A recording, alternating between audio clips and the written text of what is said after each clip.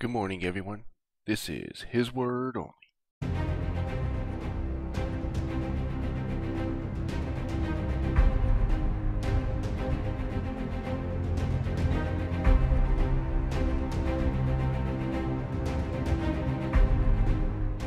Let's get right into God's Word. So today we're going to be reading Numbers chapter 15. As a recap of chapter 14, we have the people rebel.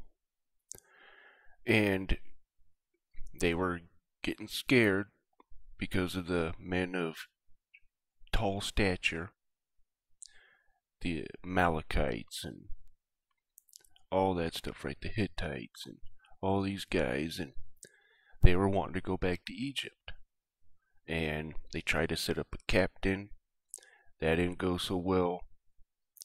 And then God talks to Moses and says that people, or the people that were 20 and older, especially the people that were complaining, right, that they would be in the wilderness or die in the wilderness and not be able to go to the land.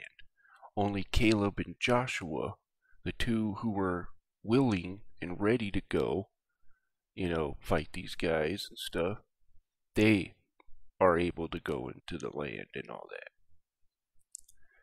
But anyways, that's the end.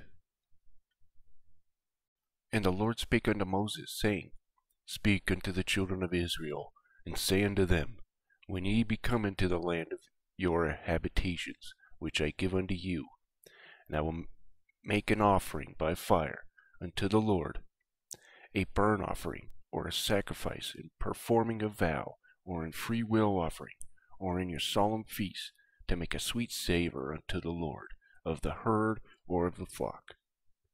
Then shall he that offereth his offering unto the Lord bring a meat offering of a tenth deal of flour mingled with the fourth part of a hin of oil, and the fourth part of a hin of wine for a drink offering shalt thou prepare with a burnt offering, or a sacrifice, for one lamb, or for a ram thou shalt prepare for a meat offering two tenth deals of flour mingled with the third part of a hin of oil.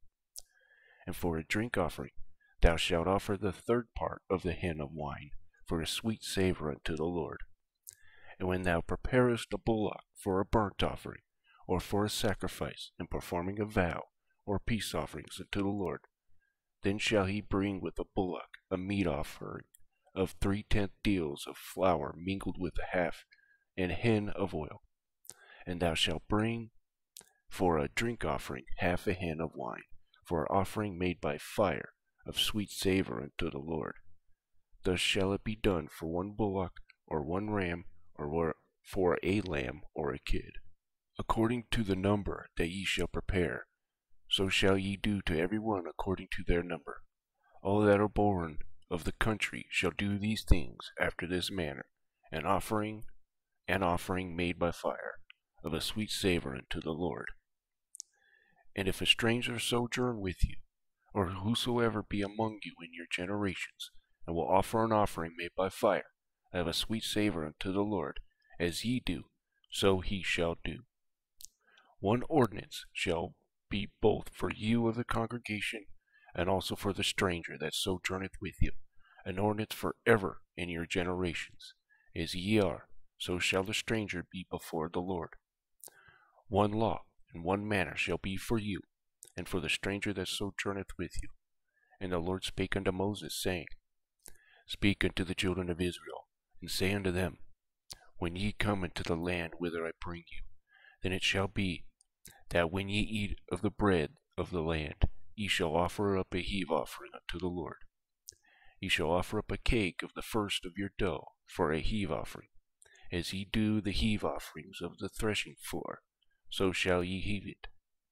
Of the first of your dough ye shall give it unto the Lord, and a heave offering in your generations. And if ye have erred, and not observed all these th- uh, all these commandments which the Lord has spoken unto Moses, even all that the Lord hath commanded you by the hand of Moses, from the day that the Lord commanded Moses, and hence or henceforward among your generations, then it shall be if aught be committed by ignorance without the knowledge of the congregation, that all the congregation shall offer one young bullock for a burnt offering, for a sweet savor unto the Lord, with his meat offering and his drink offering, according to the manner, and one kid of the goats for a sin offering.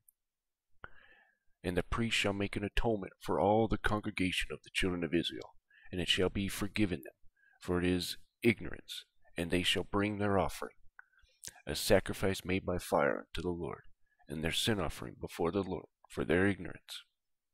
And it shall be forgiven all the congregation of the children of Israel, and the stranger that sojourneth among them, seeing all the people were in ignorance.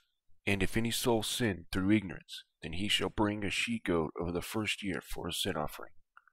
And the priest shall make an atonement for the soul that sinneth er, ignorantly, and when this or when he sinneth by ignorance before the Lord, to make an atonement for him, and it shall be forgiven him.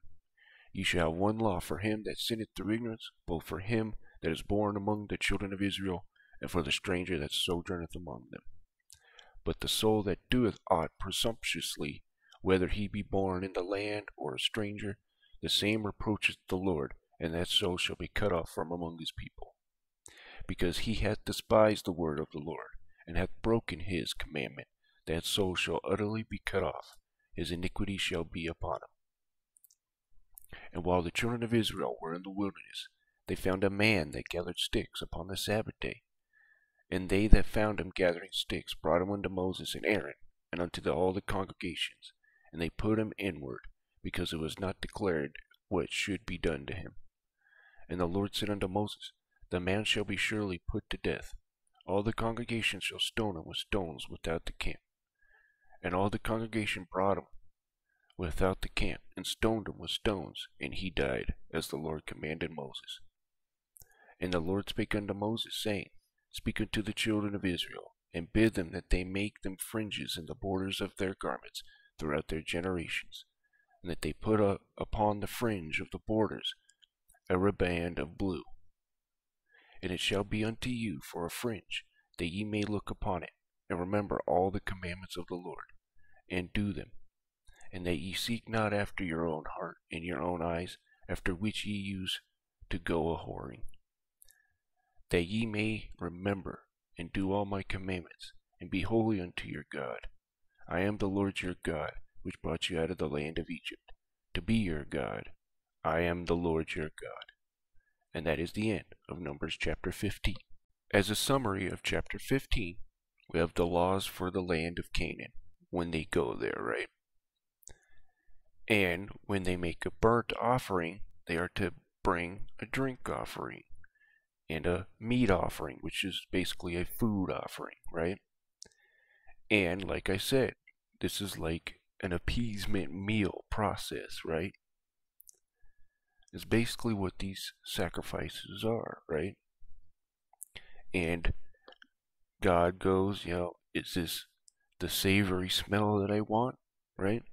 Which is Jesus, right? The perfect one, the perfect Lamb of God, right? The and of course, he's not actually going to eat him, you know, or eat this stuff. But it's basically an appeasement meal like you would if you screwed up with your wife, you know, or a husband, right? But, anyways, and of course, they would, you know, offer up the cakes and all this stuff, right? This is a food offering with a burnt offering. And they would have a drink, you know, with wine.